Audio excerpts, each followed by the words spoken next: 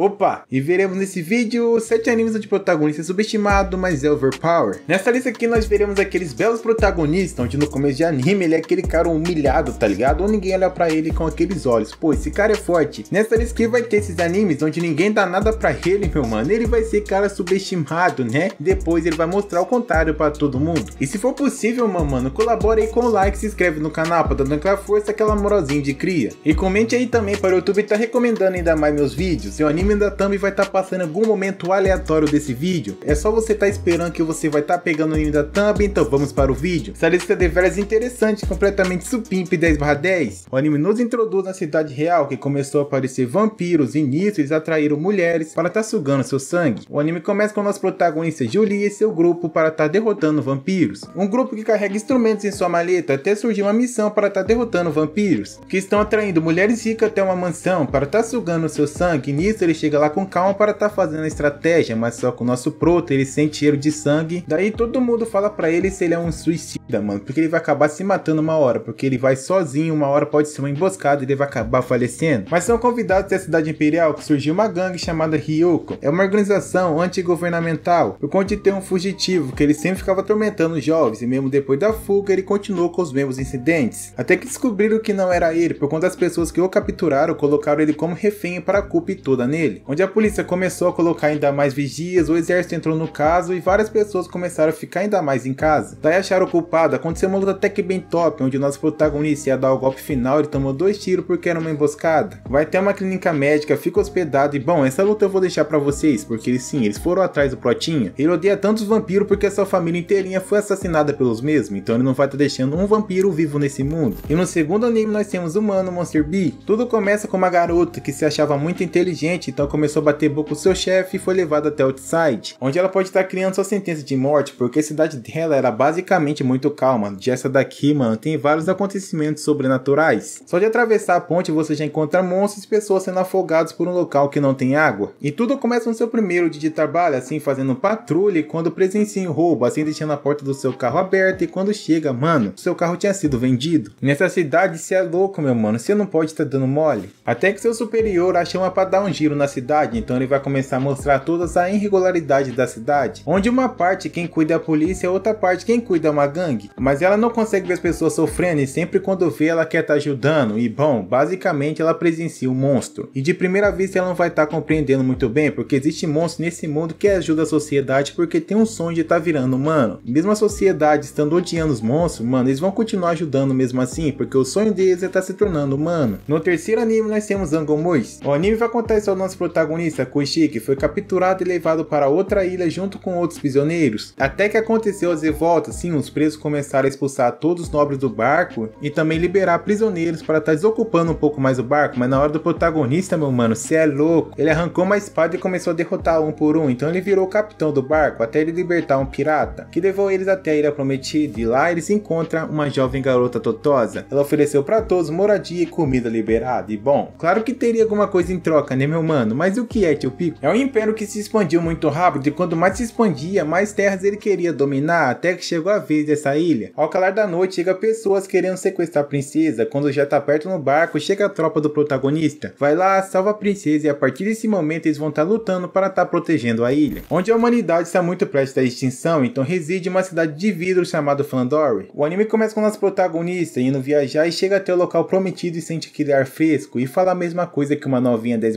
10. Daí o prota cumprimenta empregadas, aí ele conhece a novinha que ele vai estar tá dando uma aula particular nos próximos 3 anos, mas um deslize ela cai e bom, ele tá lá para socorrer a novinha. Mas nesse mundo existe uma grande desigualdade social entre a nobreza e os plebeios. Calma que eu vou estar tá explicando para vocês. O sangue da nobreza permite que você use magia mágica para estar tá se protegendo contra os monstros. Por quando essa garota ter 13 anos e não ter despertado ainda sua magia, porque o normal é no 7. E quando chega na escola vai ser desafiada por alguma de suas colegas, e claro que ela não tem magia mágica, ela vai ser derrotada com muita facilidade. Mas se o protagonista descobrisse que ela não porta magia, meu mano, sim, ele vai ser obrigado a estar executando a novinha. Mas como ele vê muito potencial e dedicação nessa menina, meu mano, sim, ele vai estar ajudando ela com uma poção mágica para estar despertando a sua magia. Daí ele vai estar dando uma poção para ela e se caso falhar vai ter danos maiores ou pode até estar perdendo a sua vida. E como é protagonista, né, meu mano, claro que vai dar tudo certo. Onde ele vai ter que esconder as suas ações da família dele e da sua guilda. Se caso todos descobrirem o que ele fez, meu mano, vai dar muito muito ruim para o protagonista. No quinto anime nós temos Akuma no Hitler. Vai contar a história da nossa protagonista, uma jovem garota que sempre foi muito boa em exercício, missões e desafios. Acaba sendo um internamento privado que vai ter uma sala, meu mano, com 12 assassinas e bom, todas elas teve o mesmo treinamento. Esse local é mais conhecido como Sala Negra, onde várias garotas têm um objetivo diferente, algumas é dinheiro, outras famas e outras é amor por matar. Onde ela foi designada para uma missão que vai ter uma garota escondida na sala de aula, então ela vai ser obrigada a estar eliminando ela por completo, onde ela acabou recebendo um telefonema que é para ela escolher viver para matar. Daí todas as pessoas chegam na sala, sentam na sua cadeira, seu professor chega e começa a apresentar. Você não parece ser velho, eu acho que você não deve passar dos 40, mas 40 já é velho. Se você falar mais alguma coisa, juro que eu te mato. É rapaziadinha, nessa sala qualquer discussão, meu mano, já sofre ameaça. Vocês devem estar tá pensando que é só chegar e matar nessa sala de aulas. Bobinhos, vocês não sabem de nada mesmo. Nessa escola você precisa avisar seu oponente para ele estar tá conseguindo se defender. Você tem 48 horas para estar tá eliminando o seu oponente, mas só que a nossa protagonista vai ter muita sorte, porque vai ter uma novinha totosa querendo defender ela. Onde a Haru vai ser desafiada por oponentes e vai ter que estar tá cumprindo sua missão de estar tá achando a novinha escondida. No sexto anime da lista nós temos Code Break. O anime se passa em uma cidade que está acontecendo muitos crimes por causa de gangue, mas não são julgados porque tem uma grande influência na polícia. O anime começa com a Sakura Koji, a garota mais popular do colégio, tira as boas notas e é a mais bonita. Ao pegar um busão e voltando tranquilamente para casa, encontra malfeitores sendo queimados por apenas um cara, mas quando chega no local não encontra mais nada, nem cinza. Mas no outro dia tem a apresentação de aluno novo e bom, basicamente é o mesmo cara que queimou geral. Então ela começa a perguntar várias coisas para ele, ele finge que não fez nada e fica por aí. Voltando para casa, ela encontra uma gangue batendo uma pessoa, mas só que ela fala que ligou pra polícia, os caras não estão nem aí por conta de ter uma grande influência na polícia. Daí os caras começam a bater nela e lá chega o nosso protagonista falando com essas palavras. Vou estar tá deixando ele falar para vocês.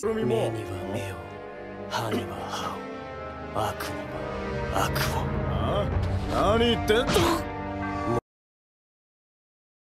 Esse é o trabalho dele por conta de ser um codebreaker. São pessoas que têm poderes sobrenaturais que basicamente o trabalho deles é fazer o trabalho que a polícia não faz. E nesse anime você vai estar tá acompanhando a história dos dois, onde ela vai seguir ele para todo canto para tentar evitar que ele faça justiça com as próprias mãos, por conta ela tem uns poderes que não faz ela ser afetada pelos codebreaks. E no sétimo anime nós temos a Oishi. Muitas pessoas vão achar que esse anime aqui o protagonista não é overpower, mas ele é sim, por conta dele entrar no grupo fracassado e subestimado por várias pessoas, porque seu grupo grupo de futebol é derrotado por todo mundo. O anime nos contará a história do nosso protagonista, Shita Oi, um jovem rapaz que tem o sonho de estar se tornando jogador de futebol profissional, mas só que em todos os grupos de futebol que ele entrava ele era expulso por conta de falar tudo que ele tem na cara e ser muito fominha. Até que ele decide entrar em um grupo de futebol fracassado, porque os caras só deixavam o protagonista jogar e ficava tudo para frente. Onde ele entrou em um grupo de futebol que era basicamente fracassado, que só ele jogava no time, onde todos ficavam para trás e ele saía gibrando todo mundo e fazendo gol. Eu no meu auge era assim, meu mano. Jogava sozinho, era poucas. Pra você ver como o cara é bom, meu mano. O time dele perdendo de 4x1, o cara entrou no jogo empatou pra 4x4. E para não tá virando, os caras teve que entrar na mente dele. Cara, sua mãe trabalha na noite, né, mano? E esse time fracassado aí, cara. Meu Deus, hein? Esse time não vai ganhar nada. Sai dessa bosta Eu lembro quando você foi expulso daquele grupo lá, porque você era muito fominha, hein? Você até hoje é assim mesmo, hein? E a sua mãe? O cara basicamente começou a falar da mãe do protagonista. ele foi lá e deu uma cabeçada no cara. Mas só que o protagonista, ele tem um som de estar tá entrando numa escolinha profissional. Mas só que a família dele, meu mano, é muito endividada e não tem dinheiro para tal coisas. Que só tem dinheiro para tá pagando as contas de casa e se virar pelo resto do mês. Até que chega um treinador que observou seu futebol e na hora da praia ele foi mostrar a estratégia todinha do seu time e lembrou completamente. Esse treinador era um jogador profissional que jogou na La Liga, por conta da sua lesão ele ficou muito tempo afastado do futebol e quando voltou não rendia mais aquilo que era prometido. Daí ele começou a jogar em um time pequeno e anunciou sua aposentadoria. Então ele saiu correndo feliz e foi falar para sua mãe, mas ela falou que não tinha dinheiro para estar tá bancando ele em Tóquio. Então o irmão dele deu uma grana para ele para estar tá seguindo seu sonho e tá ajudando a família daqui a alguns anos. Esse anime que vai ser Supimpa, onde nosso protagonista ele vai crescendo mais escola de futebol, amadurecendo até se tornar jogador de futebol profissional. E chega chega até o final de mais um vídeo, quem gostou, vai deixar o like, vai se inscrever e vai tá dando aquela moral. E comente aqui embaixo, meu mano, qual é o melhor anime que você achou nessa lista. Então nos vemos no próximo vídeo, valeu, falou e fui, tamo junto, é Toys, valeu.